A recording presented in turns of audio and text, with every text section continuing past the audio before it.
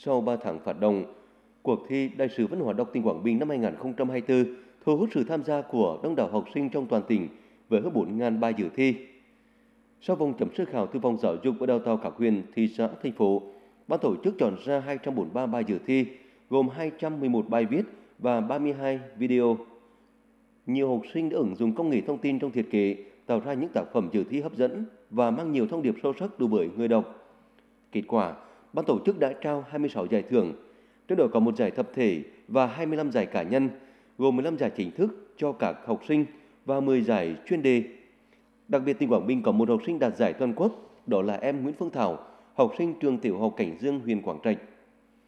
Cuộc thi Đại sứ Văn hóa đọc là một trong những hoạt động triển khai đề án phát triển văn hóa đọc trong cộng đồng đến năm 2020, định hướng đến năm 2030, được Thủ tướng Chính phủ phê duyệt. Đến nay, cuộc thi đã trở thành sân chơi và diễn đàn cho các em học sinh, sinh viên trên toàn quốc, góp phần lan tỏa niềm đam mê đọc sách với thế hệ trẻ. Từ đó, thúc đẩy phong trào đọc sách trong nhà trường, cộng đồng, góp phần xây dựng hệ giá trị văn hóa và chuẩn mực con người Việt Nam.